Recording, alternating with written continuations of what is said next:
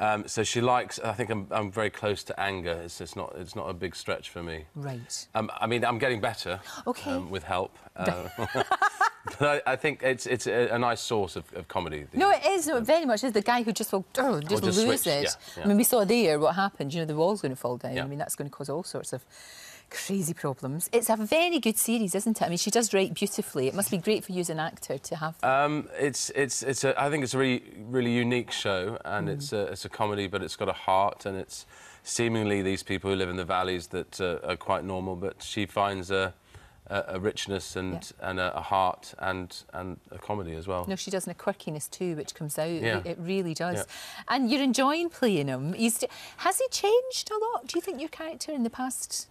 I think he's changed a lot, and we, we see we learn more Yeah, about him in this true. one.